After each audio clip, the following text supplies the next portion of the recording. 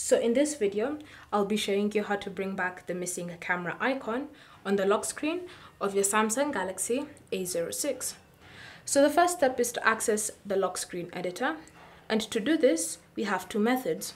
One of the methods is by long pressing on the lock screen to access the lock screen editor. If you have a screen lock type, you'll be prompted to enter it in just so that you can access the lock screen editor. Alternatively, you can always choose to navigate to the settings app. And in settings, you want to scroll and select the option lock screen.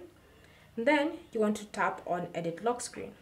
Either way, you'll be brought to this screen here that allows you to edit the lock screen.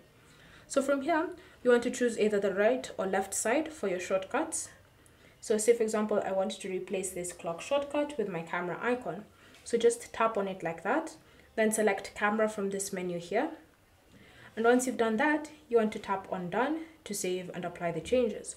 So now when you go to your lock screen, you should notice the camera icon is there. So if you want to access the camera feature on the lock screen, you just swipe and it should bring up the camera feature.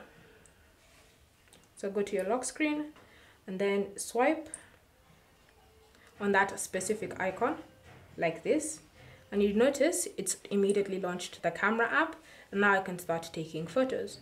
If you want to exit, just press on the home button and you'll exit from the camera. Thank you for watching. If you have any questions or comments, leave them down below and we'll get back to you.